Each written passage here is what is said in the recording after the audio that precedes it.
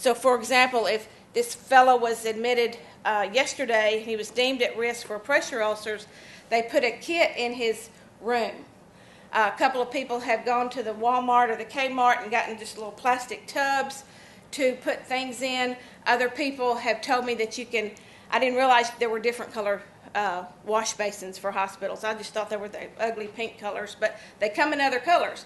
So some folks have gotten a blue one or a different color so that it's a visual cue to your staff when they come in the room that this guy is at risk for pressure ulcers.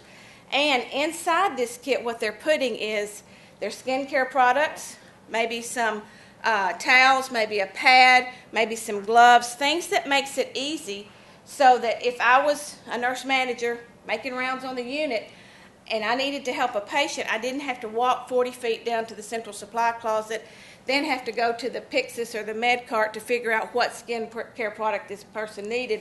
It's all right here in this kit. And uh, it does help to get the patients cleaned up quicker because I will tell you, as a nurse manager, walking down the hall 40 feet to the central supply room, I might get stopped three or four times and might never get back to it.